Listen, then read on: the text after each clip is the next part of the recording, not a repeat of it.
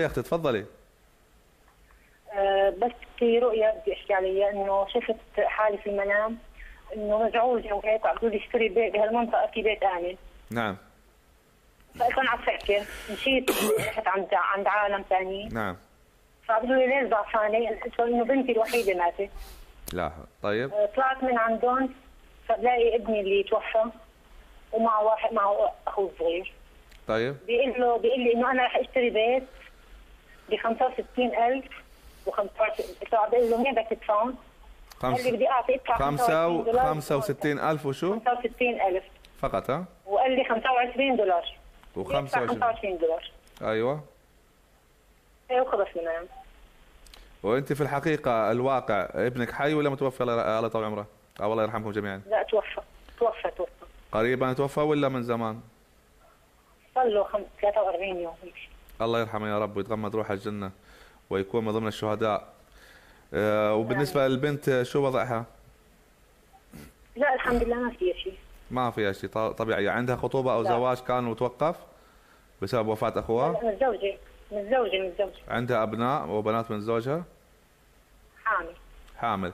على الأغلب هي حامل بولد والله أعلم على الأغلب. فلو تسموه باسم ال- المتوفي الله يرحمه يكون خير. يكون خير لأنه في علاقة بين المرأة وما بين الرجل. وفاتها في الحلم معناتها بداية جديدة وهي الحمل.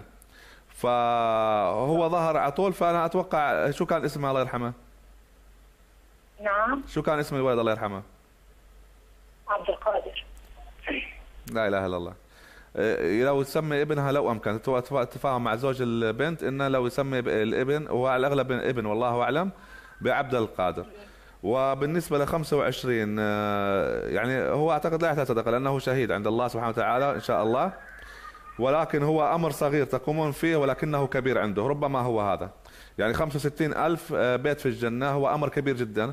ولكن تقومون له بأمر صغير يفتح عليه هذا بيت- البيت في الجنة أو هذا المكان في الجنة. فإما أن تقرأوا له القرآن وتختموه لاسمه والله أعلم. وإما أن تصدقوا لبعض الفقراء والمساكين ولاسمه عن عن روحه يعني وإما من هذه الأمور التي تخرج آه، لمن فقدناهم ورحلوا عنا. أختي الكريمة هذا والله أعلم. والله أعلم. وطبعا هنا الاسم ليس مضطرين وليس إجباري أن تسمي البنت ابنها باسم المتوفي ولكنه أنا أربط العلاقة بينهم فقط لا أكثر ولا أقل. كأنه كأنه يقول أن بنت أن بنتك سوف يأتيها عوض عني. كأنه يقول في الحلم أن ابنتك سوف يأتيكم عن طريقها عوض عنه. والله أعلم.